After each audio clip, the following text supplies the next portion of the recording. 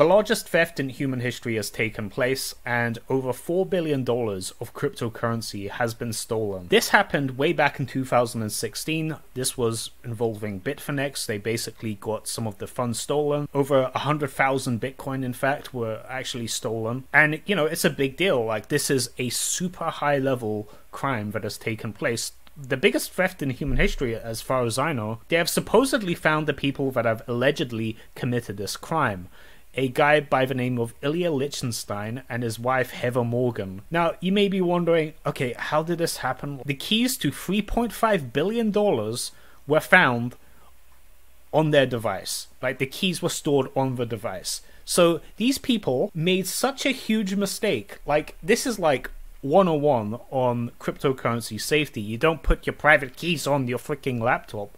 But this is supposedly what they've done. The files contained private keys which gain access to 94,000 Bitcoin uh, that was supposedly stolen from Bitfinex, which is worth $3.6 billion at the time of the seizure.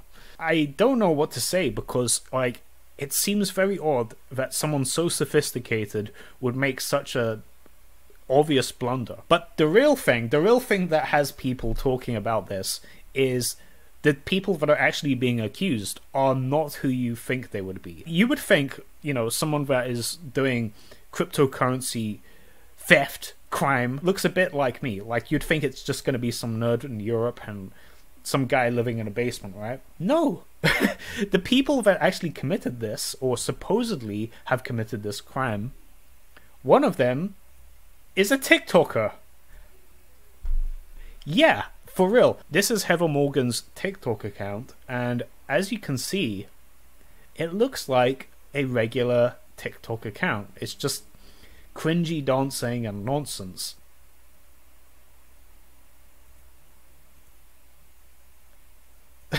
this is the person that has supposedly stolen billions of dollars of Bitcoin. Like, this is the mastermind. This is the greatest thief in human history. so here's another TikTok which uh, this mastermind is speaking about pancakes. So let's uh, let's hear from supposedly the greatest thief of all time. That's what I'm saying. Wow. Literally, Or you just you want to do this. Okay. And then I'm gonna Why? Okay, so what is going on here? Like, it's obviously like a weird girl. Like, you get the impression like this is just some girl that talks about horoscopes and just nonsense, right? Like, you wouldn't assume this is the person that has stolen billions of dollars of cryptocurrency. Supposedly, this is the person. And Frazzle von Miro. See, you don't understand. This is my commentary on social media and how superficial consumers our society.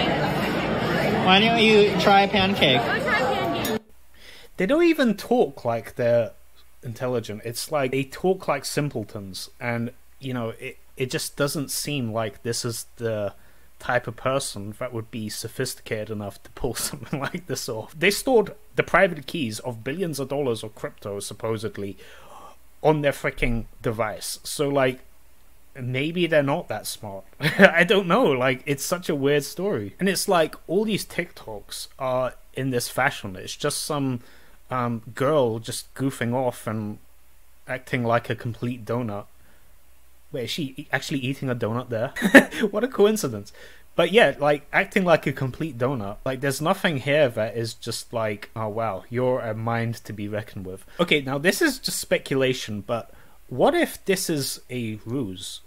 Like there's something weird going on here. It's like either this person has been set up, like uh, this woman and her husband have been set up and are basically framed for this crime because there was 4.5 billion dollars of Bitcoin stolen. Yet they had private keys to 3.6 billion dollars that was supposedly sourced from the Bitfinex hack. The money that was on those private keys is not the full amount. There's still about a billion dollars of Bitcoin that hasn't actually been found yet. So what if the actual guy that is responsible for this took the billion dollars for himself, sacrificed the rest, just to make these guys look like the guilty party. I mean, this is all speculation, but I'm just saying, like, if you are in that position, you'd be satisfied with stealing a billion dollars. I mean, come on. So you just give the rest, like a sacrificial lamb. These are the patsies that you put out, distract everybody while you take the, the billion dollars.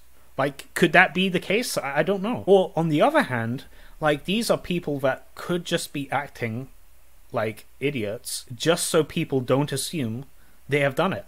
Like, maybe, like, this is all just an act just to, like, get people to think and rightfully so underestimate you. Like, TikTok is like the lowest IQ platform. You know, this uh, supposed multi-billionaire uh, crypto thief is uh, big into TikTok. It just doesn't make sense. But that could be a way of hiding in plain sight. Like it looks like you would not be capable of it, and that's the reaction everybody has. So maybe that was calculated. But then again, that the problem with that theory is they had billions of dollars of Bitcoin on their device, like they stored it on their device, which is a noob mistake. So that makes me think they were set up because like surely if you are doing something so sophisticated as laundering billions of dollars of crypto you wouldn't do something so foolish. It's like it's like falling for the uh, Elon Musk I'll double your Shiba Inu coin. It's like that. It's like that bad a mistake. You never put